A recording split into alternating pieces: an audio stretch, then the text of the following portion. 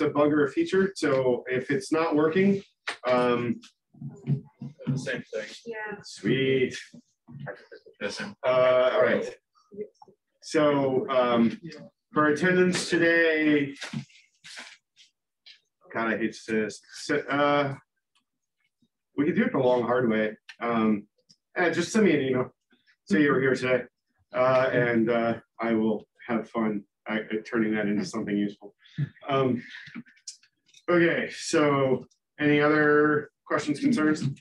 All right, I, I think, so I switched my account, or I got them to switch my account to work correctly, and it seems like it broke all of you. So sweet. Um, okay, but I'll try to sort it out tomorrow. So today we're talking about presentations, but before we do that, I made a bunch of changes. So I decided that the projects were getting a little off to a slow start. So the midterm presentations before break didn't make a lot of sense. So I've moved it to the Thursday after break. Okay, so that's, I think the 17th. Um, two components to that. So first of all, your presentation, we'll talk about what's in the presentation later in the lecture. But the, the Gradescope submission is due midnight on the 16th. And then you'll actually present in class on the 17th. My suspicion is we won't get them all done on the 17th. So we'll bleed into whatever the following Tuesday is. Okay, which I might have written down. Um, so make sense?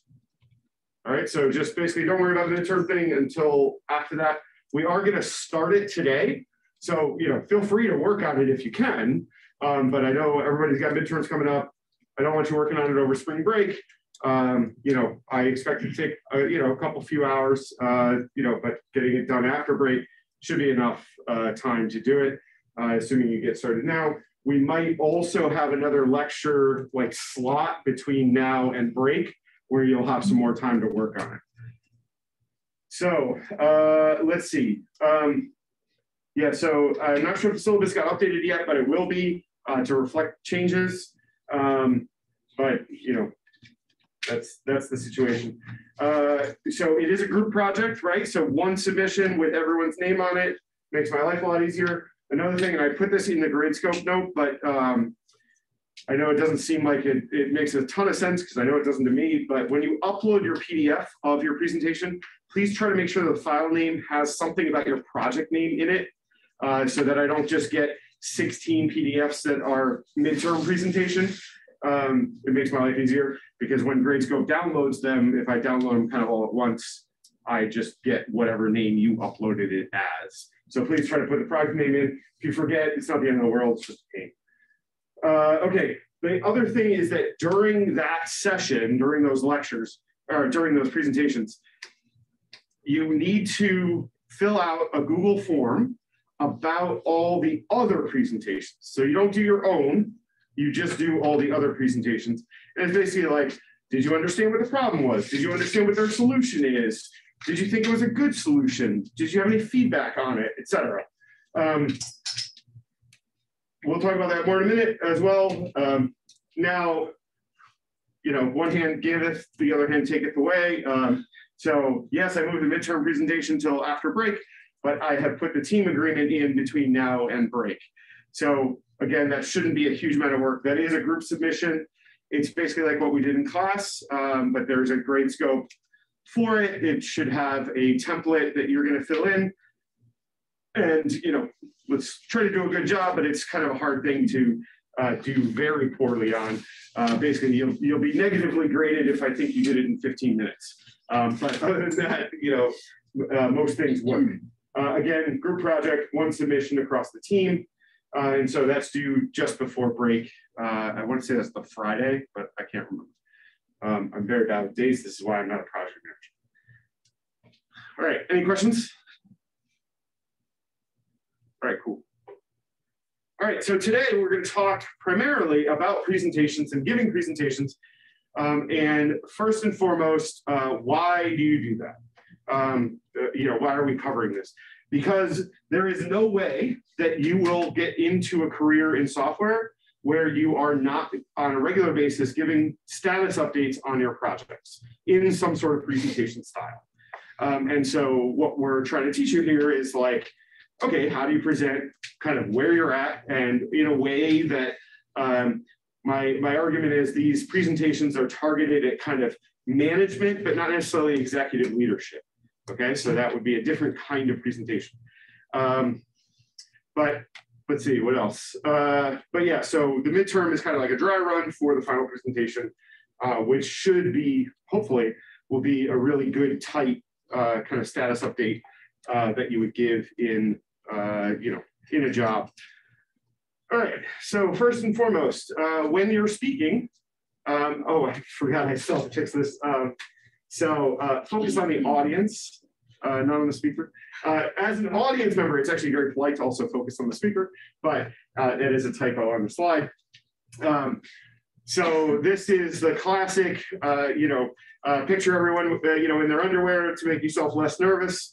The one I use actually is I like to try to make a lot of eye contact, except looking directly in someone's eyes is somewhat nerve wracking, both actually for the person you're looking at and for yourself. So I actually look at people's foreheads, which has the appearance of me looking in your eyes, but isn't actually.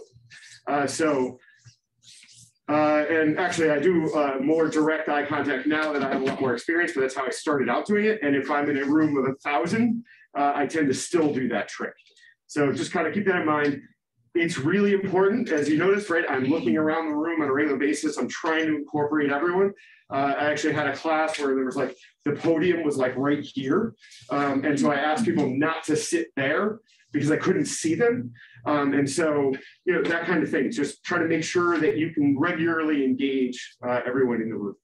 Um, another one is don't read. Okay, so don't read your slides. Okay, this slide isn't bad, but this is even heavy on text uh, for most of my presentations, which, and one of the things I'll make a distinction on is there's lots of actually different types of presentations that you'll give or one could give, right? So one is a lecture like you do in a class or something like that, where my slides tend to be very text heavy for a couple of reasons. One, because we're trying to teach here, which means that uh, you want to give people different modes of, of learning. So some people are big readers, some people are big on oral or, or voice, right? Um, A-U-R-A-L. Um, and so as a result, there's a lot of text. The other thing is that it's very likely that one or more of you will miss at least one class. So I want the slides to kind of stand on their own so that if you do go back and look at the slides, they still make sense. Or if you want to use them for study, they still make sense.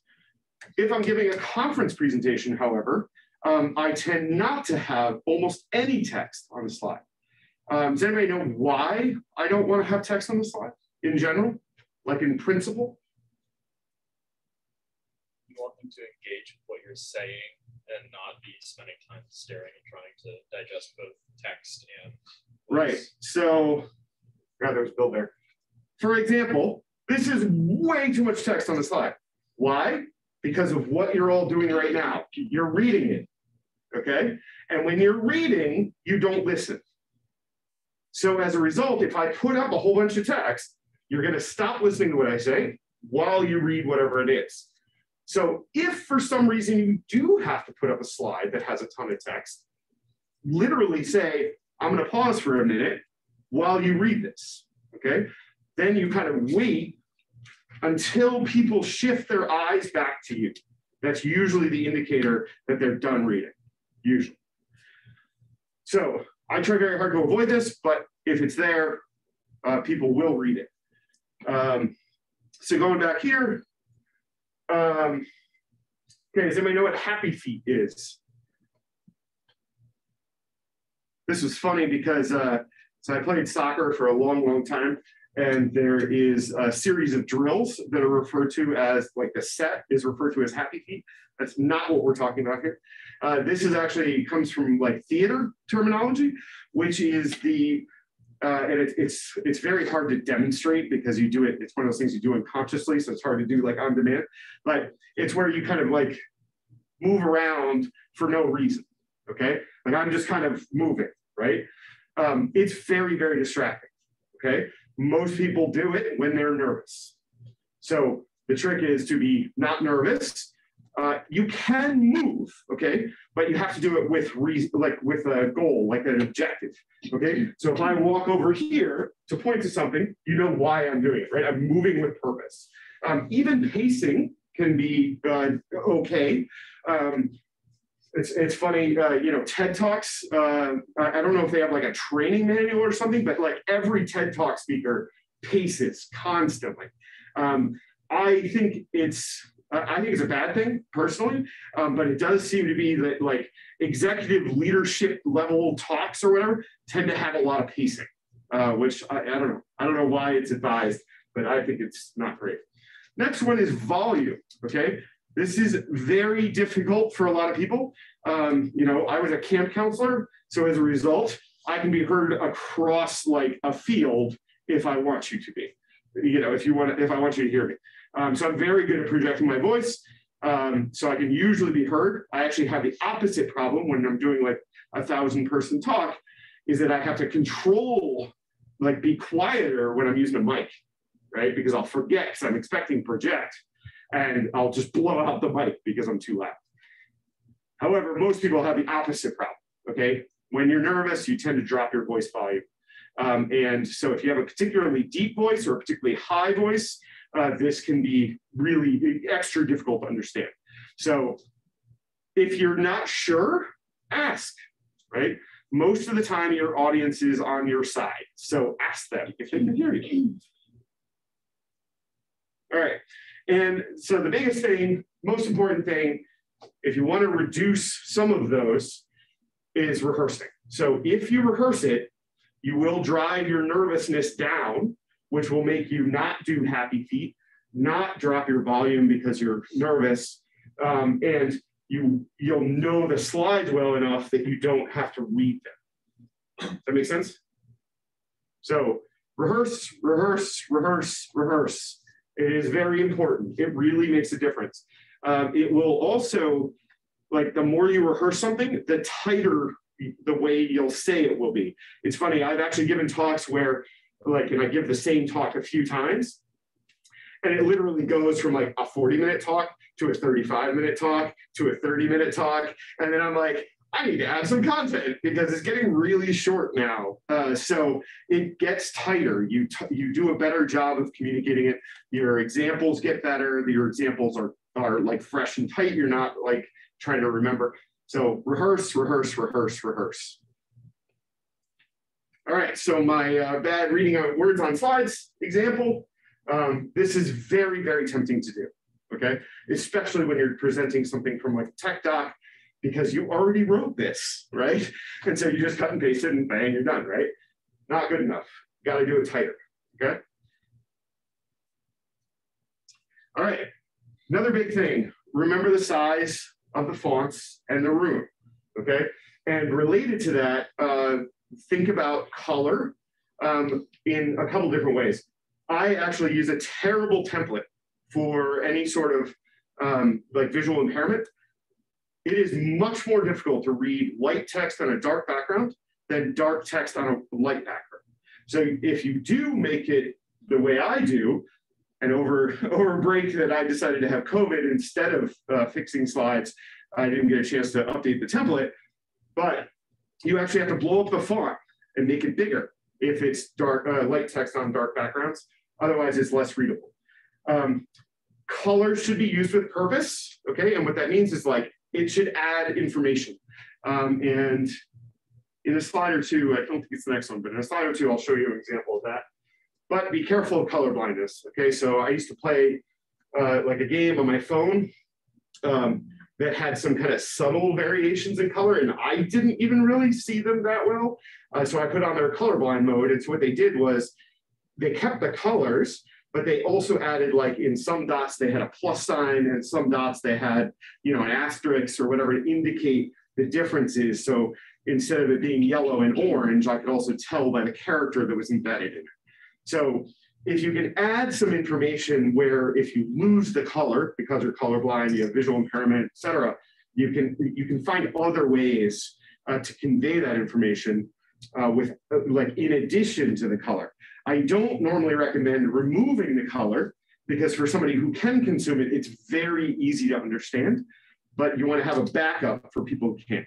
Uh, so if you think about like websites, right, images should have alt text, right? So if you can't load the image for whatever reason, like you're blind, the alt text describes what the image is. So you don't want to lose the image because the image is valuable to people who can see it, but you want to have a fallback position for people who can't. Okay.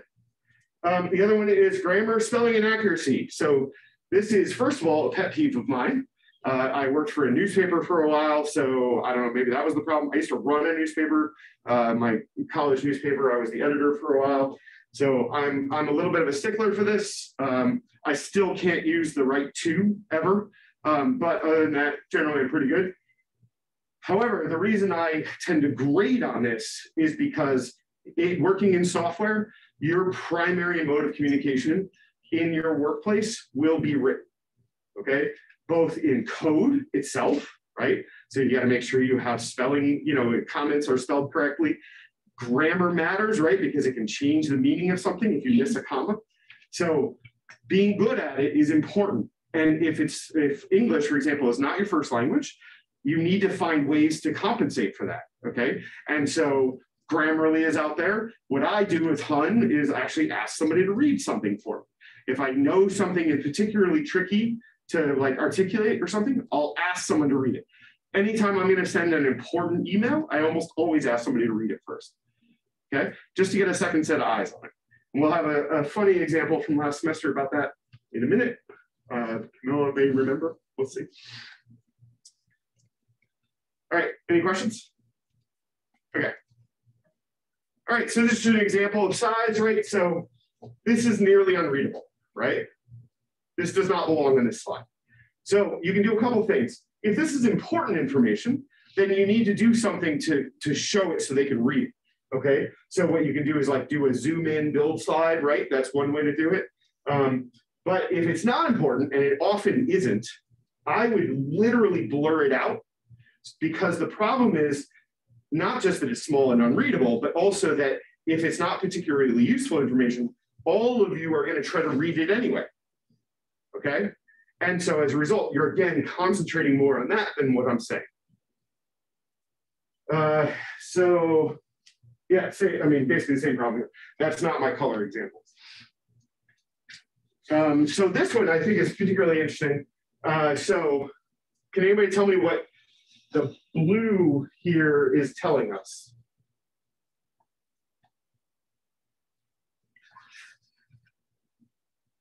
Anyone? Can anyone tell me what it's not telling us? Yeah, go ahead. Oh, it's uh like the components that they are on the page as coded by us. Right. So it's telling you what the components are. You know what also tells you that? The word components and the lines. Why is it blue? Okay, like, like you're not adding any information. So what might be a good use of the blue would be to like do a feature going across, right? Something that you crosses the, the boxes or something. But just coloring it for the sake of coloring it makes me look at it and say, this is somehow important to me, but I don't know why. Okay. And then on top of that, why is this blue? Just for fun? Like that looks like a happy blue. I agree, but that's not a good reason to color it blue. That makes sense? Yeah. I think it adds like a pop of color to the slide. So Yes. So if we were doing fashion, I would agree with you. So if you if you really wanted to keep it, then do them all, right? So do blue, do pink, do green, I don't know, pick your colors, right? But do them all. Because the fact that it's alone doesn't tell me what it is. There could also be a note here that says, these are the parts we coded. That might be a piece of information that you want to tell, right? That all the stuff previously existed or something. Um, you are seeing this out of context, so there could be voiceover that would tell you all that. Um, so I'm I'm mostly trashing it because it's it's a good funny example, um, but I don't literally mean anything necessarily bad about this particular slide that Camilla may have had a hand in. Um, so it, it's because you are getting it completely out of context. But the point being is just if you can't tell from looking at this picture what the blue is for, it's not adding value. Okay. All right, this is this is the one that I find particularly funny. Um, so, does anybody know what's wrong with this slide? Um, the blue bit is my overlay.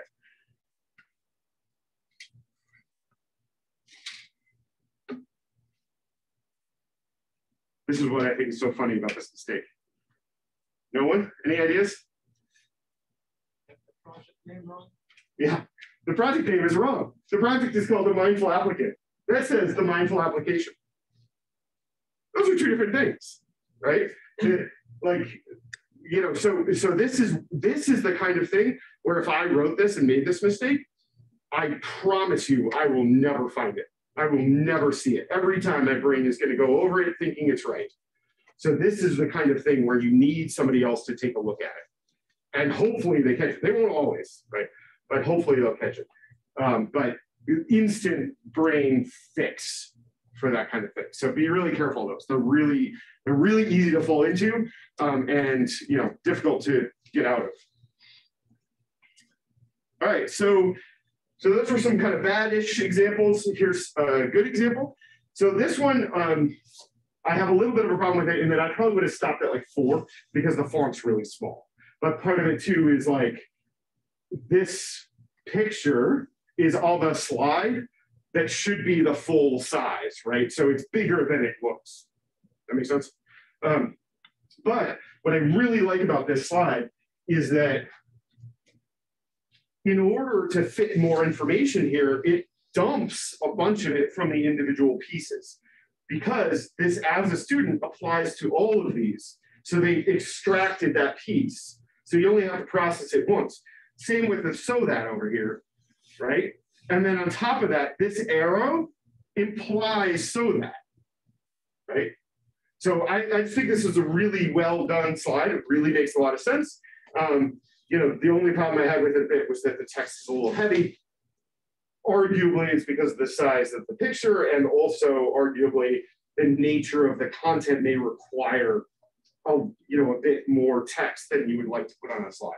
But it's kind of the idea. that It's you know not too sophisticated, but really does show a lot of thinking about how they want to present the data. All right. Well, there's a lot of uh, examples here. So this one I also really like, okay, where this team decided there was just no way they could put all the information in one slide. So they made four, which is great because um, it just kind of separates out the information. The thing is, four slides theoretically can take a lot longer to process or like deliver than one slide, right? However, they did a couple of really smart tricks to make it so that each slide is easier to consume. If you notice, the layout of each slide is exactly the same. So when you're going between them, your brain doesn't have to parse the layout each time. Okay? I'll tell you right now, though, this is kind of difficult to do just because if this corner here is not exactly in the same place as that corner there, your brain will really negatively react. It'll really slow it down. So you gotta make sure it's really perfect. Um, but I really like this because the only differences are uh, the new information. So you can immediately jump to it when you go through the slides. Um, and it tries to solve the problem of how do I get 30,000 pieces of information into, you know, into one slide without uh, totally overwhelming the consumer. All right. So this one, um, we're going to talk about this in a minute. Um, does anybody know what a marketecture is? So this is half a joke and half serious. Sorry, does anybody know what an architecture is? Architecture? Ringing bells? All right, tell me what an architecture is. It's like a design or something. You know, it's software design, right? Um, so yeah, it's, it's usually a drawing uh, that indicates what uh, you know an application, how it works, right? Um, however, they're usually too sophisticated to uh, give to somebody who is like a manager, right? Or somebody, sometimes even somebody outside your team. So one of the things that started to take over is this concept called a marketecture. Does anybody know why it would be called mark? Like what, what is that? What are, what are we merging together to get marketecture? marketing and architecture because it doesn't actually describe the architecture. It's just like marketing buzzwords that are probably useful or interesting. So that's the disparaging view of a marketing architecture. There is there is a positive view. Um, so yes, marketing and architecture combined together come up with marketing of architecture, which often will be on a website and, and try to figure fit as many technical buzzwords as possible into the web page. Okay, cloud, container, you know, whatever. Um, however, the good purpose in my mind is it's a high level or more consumable version of the architecture that communicates to somebody who doesn't, who's not deeply technical or deeply involved in the project, roughly how it works. Okay. So the intent is not to replace the architecture diagram, but instead to give you some context for an architecture diagram, or you know, or you you know, if you want to skip the architecture diagram for that particular consumer, you know, it gives you something something to give them an idea of how it works. All right, so this is moving on to the actual midterm. Um, so a set of slides and these are all the content that it must have, okay? You can also add anything else that you think seems appropriate, but these are the things that it must have. So it must have the name of the project or client. I prefer project, but if you, you know, if it doesn't really have a name or whatever, I don't know if they have any like that, you can use the client name. Names of the team members, okay? I wanna know who all the participants are. It has to have a problem statement, okay? Now keep this in mind that the problem statement that's coming from the project description is a lot of words for one slide, right? So you want to think about other ways to, to you know, share that information without writing a paragraph and a half on a slide, okay? Main user stories, okay? You saw that example earlier. So what are the major things that you're planning to do that's going to address the problem statement, okay? Um architecture, then also a technical architecture, and then milestones and timeline. Okay, so when are you going to do stuff? And uh, I really should add another type of future here. So basically, because you know at any given point, right, theoretically, you're getting stuff completed, and then new stuff is happening. Um, I put both of these. So basically, up to wherever you finish this, you know, the slide deck, that goes in the completed bucket. Does that make sense? But then future can kind of have two states. One is future stuff that you're going to do this semester, and future can also be stuff that you would think that they should do in future semesters. Okay? You don't have to have any of the latter. It's more like if you want to put them in, that's where you put them. Okay? All right. So the way you deliver this is, sorry, as a PDF to Gradescope, there's a reminder in the Gradescope assignment of the requirements, like that list of items, so that you don't have to reference this. Um, and then you actually have to present it on the 17th. So please try very hard to attend that class. Okay, it's very because I'm going to make you present it either way. So if you can't make the class, that means you get to come to my office hours and present it on your own.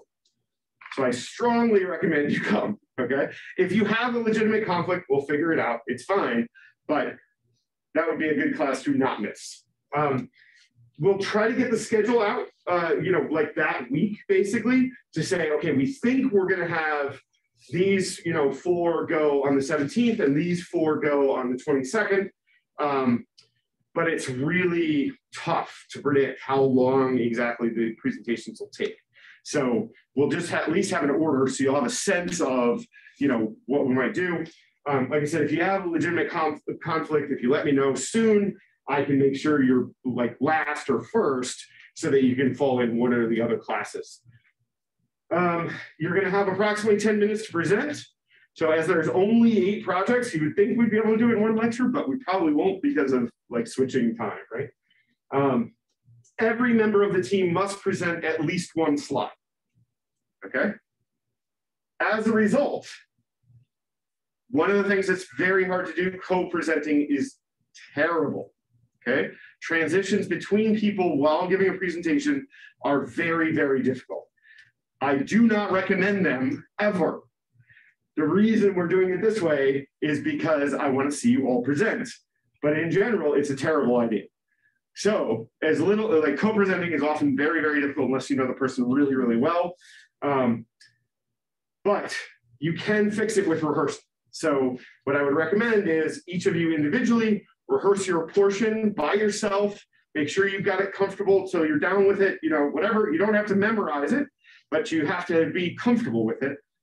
Then get together as a team and do some rehearsal, actually doing the whole presentation. Okay, make sense? Okay. Uh, my worst story about that is uh, I was co-presenting with someone and finishing my slides while they were presenting. Uh, so that was insane. Do not recommend. Did come off pretty well. All right. Um, so obviously we'll repost this, uh, you know, at time of. Um, however, this is the inter-team assessment. So basically, you know, you giving feedback to uh, all the teams. I'm not going to share uh, who the human is with the team, right? Um, but I will try to share content that you provide with the team that received it. Uh, if I'm saying that right, I think you know what I mean. Um, but I'm, I'll strip anything that will indicate who you are uh, out of it. I will also strip any bad language, mean things, etc. Um, so uh, let's see. Um, but, oh yeah, so this is not a group assignment. This everybody has to do, call it seven of these. Okay, makes sense. My expectation is that you're doing it real time during class. However, in case you can't physically get it done for whatever reason, there's a kind of a grace period until the next lecture uh, to you know finish typing it up. Um, however, in, in order to do that, the, the form itself is, is pretty dense. So I would recommend trying to read it in advance, uh, just so you know what it's going to say. Um, not because you really need to, like, you don't have to do anything with it, but if you've read it once, it'll make a lot more sense, I think. Questions? Okay. All right, uh, a few more samples, uh, just the ones we didn't really go over. I just thought this was a nice timeline, um, you know, from a project. Uh, so, you know, it tries to indicate when things are happening. So, and this, if you look at it, this is a milestone. Okay. So, as in, you kind of group a set of user stories together and say, okay, this is a, we're going to call this a blog. Okay. If you have to, you can just call it milestone one, milestone two, milestone three. But the idea is to kind of group some things together and maybe give it a fancy name, which will then make it easier to understand what's happening. Um, but then kind of down, I guess these aren't great, but uh, so these should be kind of more like the user story level. Like what are the different things you're going to do in that sprint, say. Um, milestones don't have to be at the sprint level. Uh, they often are, especially for such a short project. Um, there's not a lot of other room to put in milestones. But I just wanted to give you an example of this is what I mean by a milestone. This is what I mean by a timeline. Doesn't have to look like this, but get the idea. Uh, this is just that architecture blown up. I don't dislike this slide. Um, like I said, I just think it's a little rough on the fonts. Um, it would be much better if it was full screen, but you know, it is what it is. Uh, then an architecture example, and I'll post these slides. The idea of this is so you can kind of see what they are. Um, another architecture that I think is good. This one, um, you don't have a requirement to include this. If it's interesting or relevant to your project, you might want to. This is basically the deployment pipeline. So how does uh, you know a piece of code land in production? Um, and for this particular project, it was a useful piece of information, but that doesn't mean it is for you. Okay, just more examples. Um, and that might be all the slides. One thing I want to mention is uh, earlier today, I did a Piazza post for good sources of imagery that have um, like proper usability or like attribution or proper like licenses so that you can use them. Because remember, I don't want to see anything in any of these that is not attributed to its source. That source might be you. Like if you can draw, there you go. Um, I personally cannot. So I use a lot of stuff off the internet, but you got to make sure you're using it with the correct license. Okay. Um, and so the Piazza Post has uh, some ways to find content that is licensed appropriately. And if you have any questions about any given one or whatever, you know, feel free to let me know. Um, I mean, technically speaking, for this class, all of that would be covered under fair use uh, because you're doing it for classwork. Um, but we're treating it like it's more real, just to give you the experience. Uh, let's see. I was thinking about showing you uh, one of my other decks, um, but I might stop here. If I find it, or if I find a good one, I'll, I'll bring it back up. But at this point, I want to say, all right, get together as teams, start working on that presentation. Okay. Um, that way you can ask us any questions you might have. Um, who else is here? Camilla, Matt, me. That's it, right? Am I missing anything? No. Okay. So uh, we're around so that you can ask questions if you don't understand anything we talked about. Um, and uh, that way you can get at least get started. And uh, you know, and so I would like to see a slide, you know, like a, like a start before the end of the lecture, if humanly possible. I know you don't have a ton of time, but uh, hopefully you can get started. Any other questions? All right, cool.